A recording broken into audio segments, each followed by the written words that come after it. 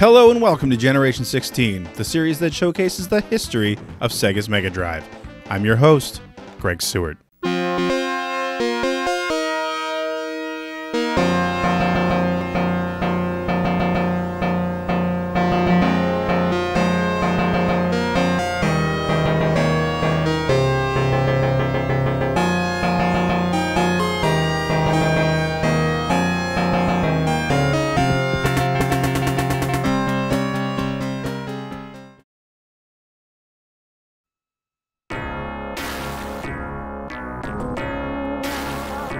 While other American publishers like Accolade and Razorsoft were simply dipping their toes in the Genesis waters in 1990, Electronic Arts dove in head first.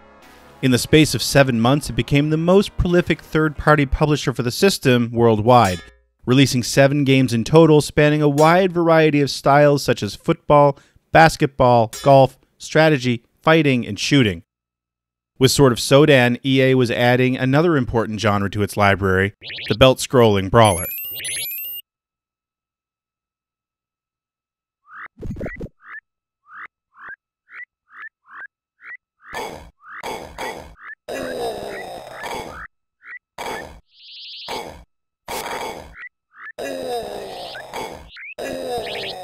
In Sword of Sodan, you take up the titular sword as siblings Shardan and Brodan, secret heirs to a throne vacated long ago when their father, King Pallas, was destroyed by the malevolent wizard Zoras. The mighty warrior Sodan raised the siblings as his own, and now that he too is passed, it's time for the pair to finish what he started destroy Zoras and restore peace to the world. You start your adventure on the outskirts of town, fighting your way past guards, giants, zombies, and more on your way to the castle and the final showdown with the evil wizard. Like so much of Electronic Arts' Genesis library to this point, Sword of Sodan is a port of a game that originally appeared on the Commodore Amiga, which isn't surprising considering founder and president Trip Hawkins backed the impressive computer very early on, not only supporting it with games, but with development tools. I wanted to make as many games for the Amiga as possible. And of course, we had a lot of our own ideas for games. Uh, we even went back to our development tools. And our development tools were at that time PC based. And we had a really nice Paintbox program that our uh, developers used on the PC to do the graphic art that went into the games. And you know, Tim Mott uh, was a really brilliant guy that kind of ran the technology side of Electronic Arts for nine years.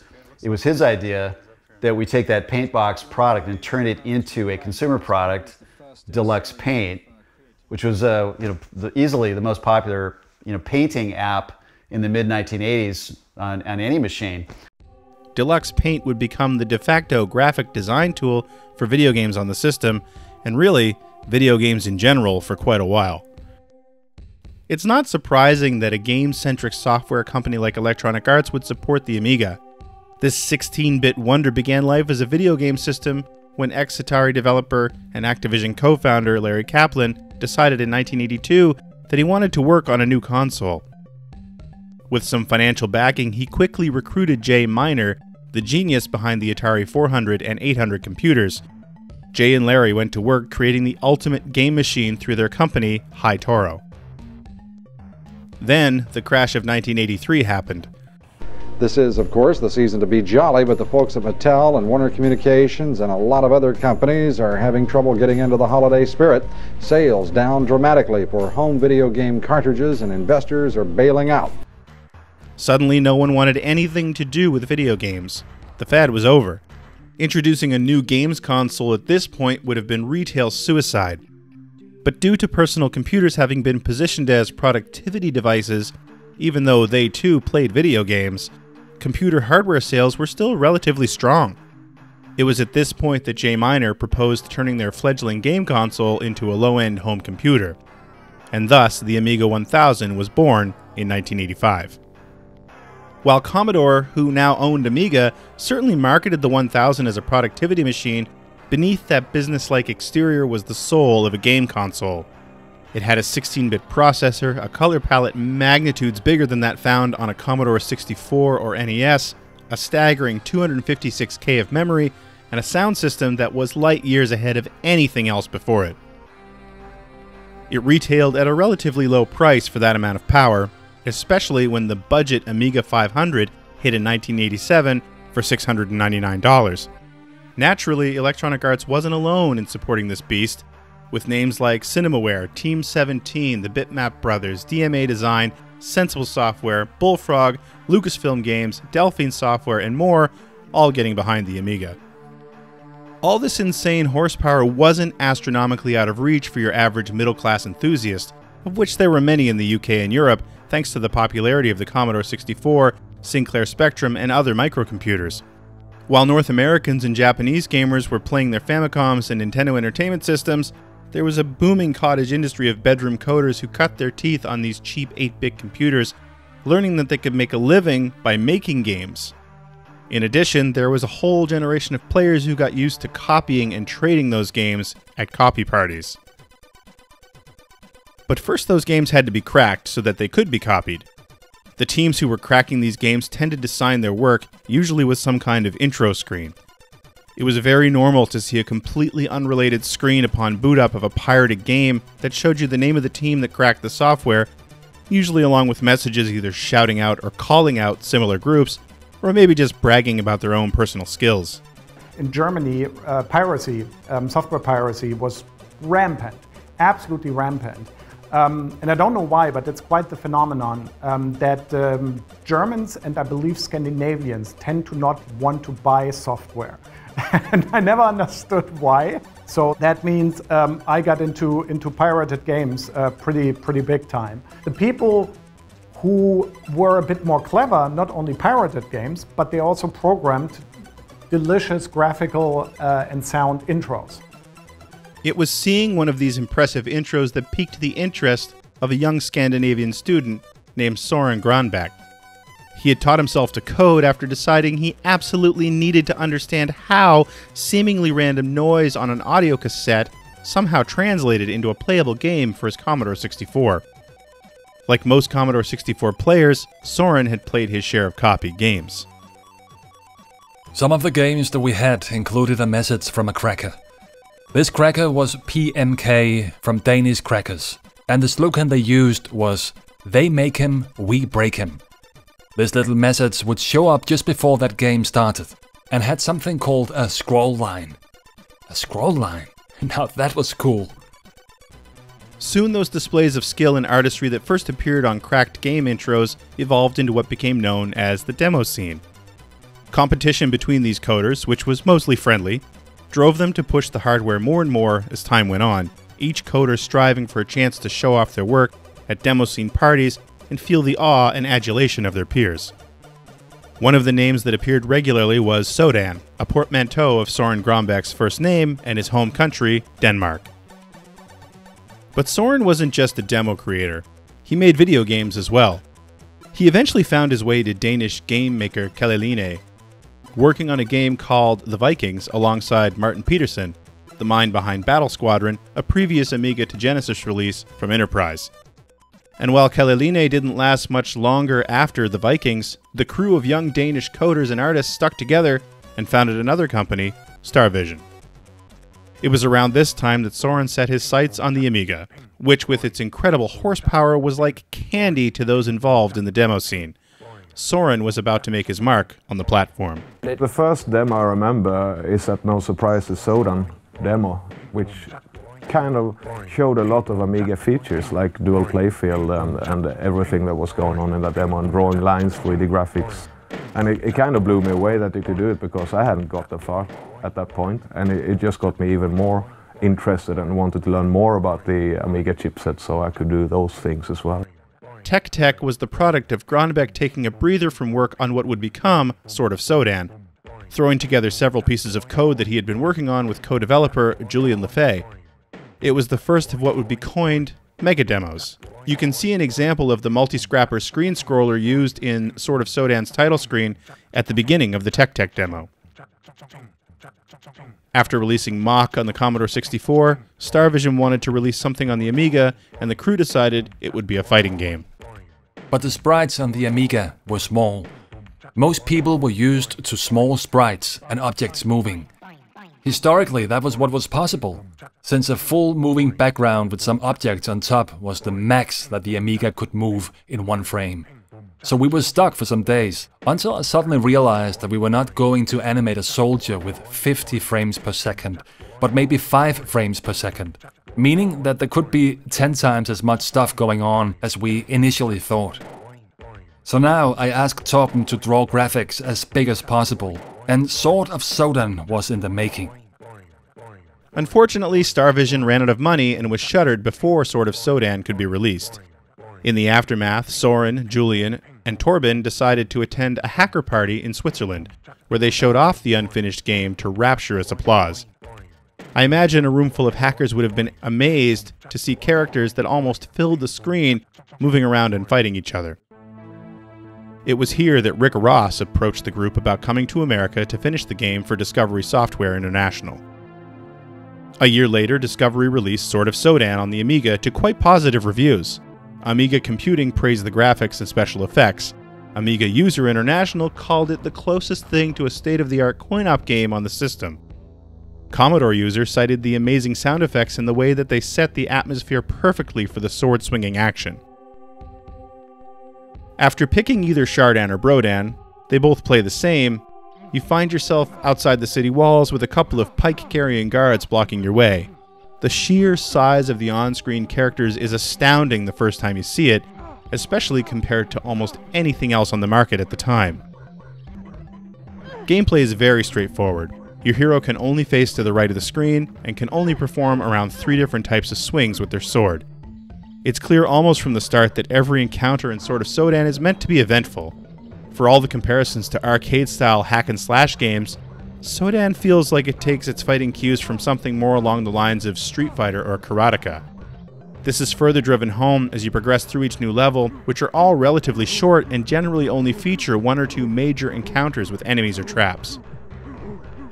You don't have to rely on your sword alone to make it to the final showdown with Zoras. Sword of Sodan features power ups in the form of potions, which are randomly dropped by enemies as they're defeated. Potions can do anything from kill your opponent immediately, to wrapping you in a temporary shield, to giving you an extra life. In Sword of Sodan, you need all the help you can get because this game is brutally tough at first. What enemies lack in technique, they make up for in relentless onslaught. As you get further into the game, the addition of surprise, one hit traps can get really frustrating.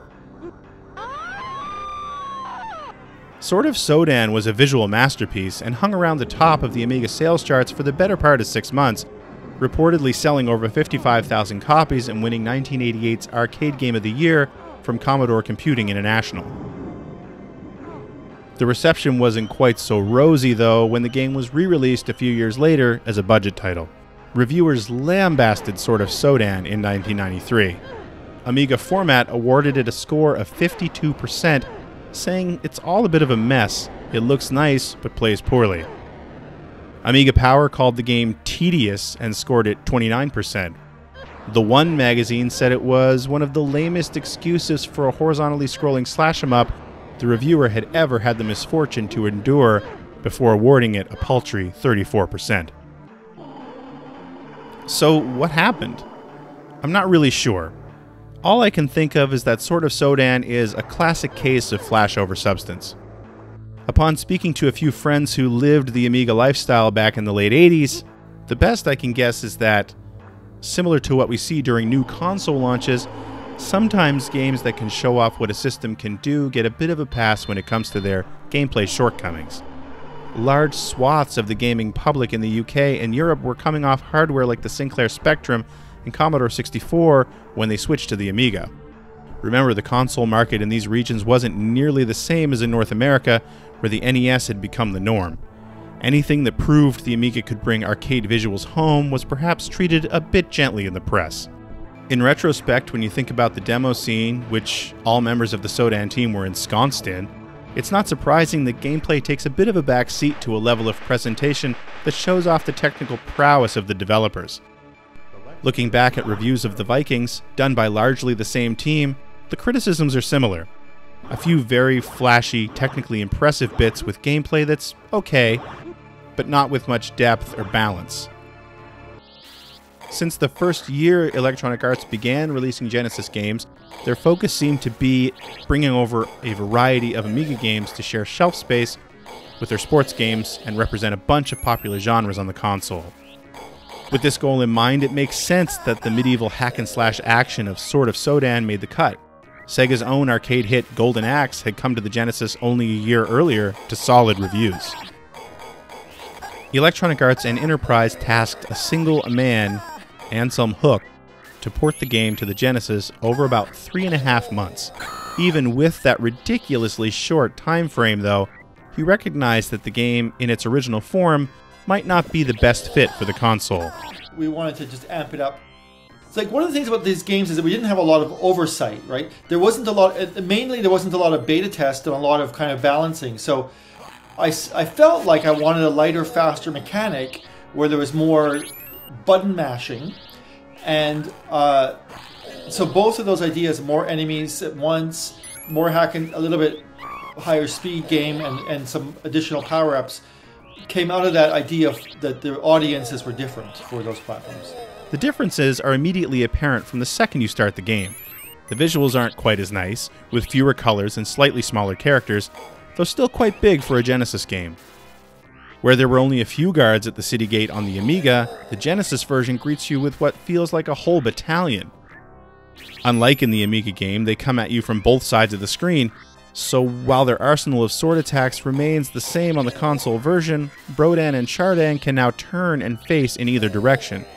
For some odd reason, though, turning around requires holding the jump button and tapping the D pad left or right. I think it might have something to do with maintaining the intended fighting style, but it feels really clunky and takes a lot of getting used to. Well, I think of these platforms as creative exploration platforms, and I and I, I kind of, you know, I wanted to I wanted to honor Soren's work. I don't know that they exactly did. It's a it's a different game in, in some ways. Most encounters on the Amiga required retreating at the right time to avoid enemy attacks, and then advancing on adversaries when there was an opening to land a strike. The Genesis game replicates this pretty well, although with the slow turn rate and the frankly overwhelming number of enemies on screen at various times, it can get seriously frustrating. Just as in the original game, the potion system balances this out a bit. On the Amiga, your heroes could gather potions which could grant extra lives, increase attack strength, kill the nearest enemy instantly, or temporarily shield Shardan and Brodan from damage. The system was massively expanded on the Genesis. The mechanic was intended to make it simpler for the Sega Genesis because it, it was a lighter, faster, different audience, and I wanted a mechanic that was quicker. It was a lot of work to play the game, and I wanted to let people kind of, you know, get through the game more quickly. While drinking single potions on the Genesis could still increase your sword power or kill a nearby enemy, or heal you, the real power lay in using them to create new concoctions. By tapping start and choosing multiple potions from your inventory, you could gain an extra life, set your sword on fire, get a shield, or even skip an entire level. But you can't just mix and match with impunity. The wrong combination could poison you. Drinking every color at once even kills you, with a cheeky message about winners not doing drugs flashing up on the screen. The new potion system really does add a welcome layer of depth to Sword of Sodan. By managing your inventory and drinking the right mix at the right time, you can strategize your way almost completely through the entire game, which is a blessing because enemy attacks are so relentless. Like Battle Squadron, the previous game from Innerprise, Sword of Sodan is in desperate need of some play balancing. First of all, there's a technical engineering challenge. Can you do it all with new hardware? Can can you move fast enough to hit the Christmas market? For small companies, hitting that market is do or die. Okay, so shipping is more important than quality. Um, and then secondly, the the next the next challenge was uh, product review. We didn't actually have any product review. The goal was to ship, and so you know there, there wasn't a normally when I do a larger production these days there's you know there's a whole team of beta testers and and also kind of a quality um, you know people looking at the gameplay thinking about it balancing the game making sure it's not too easy not too hard making sure there's no cheats all those things were missing I kind of I kind of was beta test. I, I, I was designer. I did a lot of the work. I built the art tools. Torben did the art. I've got a reputation for whatever it's going to take. We're going to ship this thing, no matter what. We're not going to if we don't have this, if we can't sleep, whatever. We're going to ship. Failure is not an option, and that was the case here. We we shipped, but we did cut corners, and that's there's a there's a cost to that, and and it, sometimes I wonder is that cost worth paying. When you think about it in that context, the rush to learn the hardware with no documentation and get something out for Christmas, it's actually pretty surprising how different Sword of Sodan is on the Genesis compared to the Amiga original. You have to give Anselm credit for trying to appeal to what he saw as the system's audience while doing all this work himself, rather than just bashing together a straight port. That doesn't mean it's worth playing, though. Sword of Sodan is difficult for all the wrong reasons the Genesis version took what was already an extremely uneven challenge and ratcheted it up to insane levels. Take this level where you have to fight a host of giants. Not only do they have better reach than your hero, but just hacking their life bar down to zero isn't enough. When they're brought to their knees, you have to hack their heads off to finish them, or else they'll just get back up and keep fighting. I mean, that sounds pretty cool in practice, but due to Sodan's less than stellar hit detection, you actually have to back up and position yourself very precisely to behead your enemies within that small window of time. Something that's made all the more difficult if you've got another giant simultaneously thrashing away from another direction. Or, as you probably noticed in this footage, a series of completely hidden pit traps to contend with. Actually, I have to give Anselm some credit here the pit traps on the Genesis version are given away by a slight discoloration on the floor, something not found in the original Amiga game, as far as I can tell. But there are more of them, and the level is longer, and there are far more enemies to fight in this hallway. Here's another example of this crazy difficulty. Deep within the castle, these flying enemies swarm you. In the original game, there were a handful of these things. On the Genesis, they seem endless.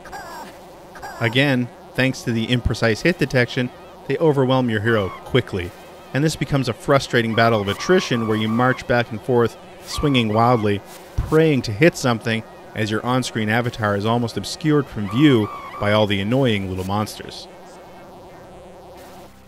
Game reviews for the Genesis version were a mixed bag. GamePro was actually pretty kind, clearly dazzled by the large characters and gore, Funnily enough, most UK and Euro magazines were harder on the game, most likely because they remembered playing it on the Amiga a few years earlier, as this Sega Power reviewer points out. Those of us who didn't play it back then were probably still aware of Sword of Sodan. It had beautiful cover art painted by Dorian Vallejo, son of the famous Boris Vallejo, and looked amazing in screenshots.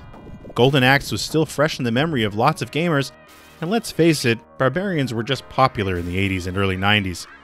They've really been a staple of video games for years. Sword of Sodan was influential, even if it wasn't necessarily for all the right reasons. So much so that it very nearly made the cut when Sega was putting together its Genesis mini console in 2019, according to Sega's chief content officer, Hiroyuki Miyazaki. It's not said to be a masterpiece, but we wanted to include this because in some ways it's one of the games that symbolizes the Mega Drive era.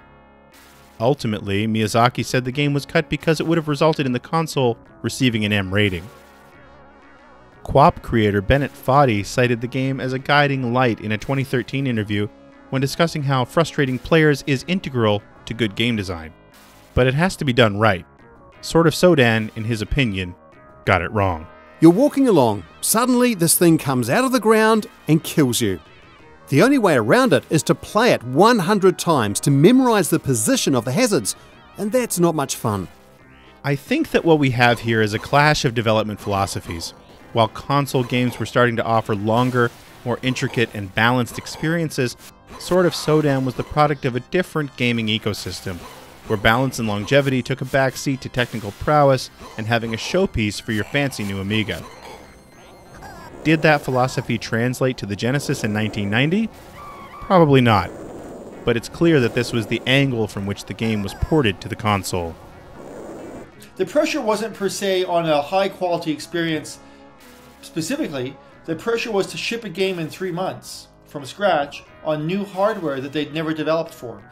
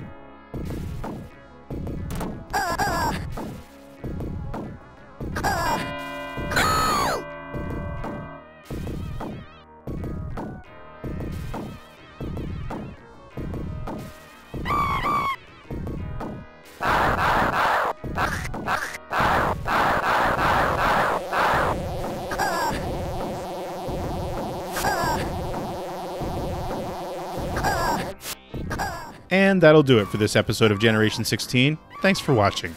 If you enjoyed what you saw, please like and subscribe, and leave comments below to feed the algorithm. Join me next time as we take a look at the final Mega LD launch game for the Pioneer Laser Active. See you then.